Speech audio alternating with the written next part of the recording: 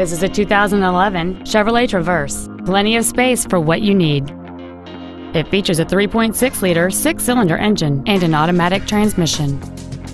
Its top features include a power driver's seat, heater vents for rear-seated passengers, cruise control, a CD player which can read MP3s, a leather-wrapped steering wheel, aluminum wheels, an illuminated driver's side vanity mirror, a low tire pressure indicator, a speed-sensitive volume control system, and a rear spoiler.